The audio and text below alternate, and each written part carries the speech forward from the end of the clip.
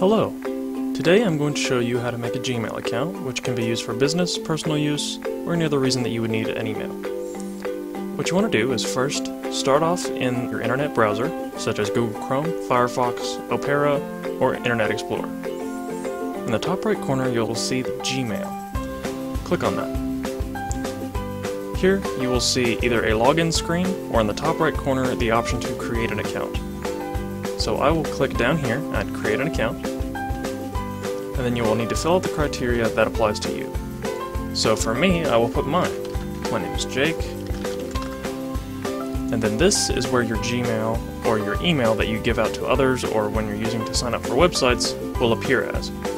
So for me, I will use Jake Vander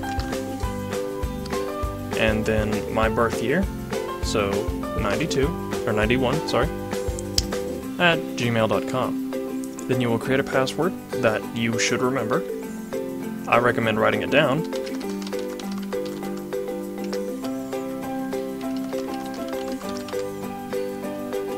Then you'll want to come up with your birthday. Mine is in June 2nd, 1991. I'm a male. The mobile phone is an optional thing that you can put here, unless you do not want to do the CAPTCHA that is available here you will need a phone verification if you do not fill it out, but in this case I will fill it out and leave that blank. If you do already have a current email address, you can place it here. If not, then you don't need to put one. For this case, I won't put one.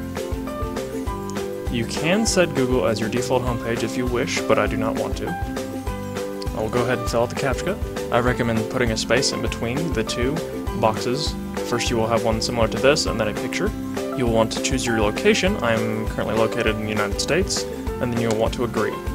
Go ahead to the next step.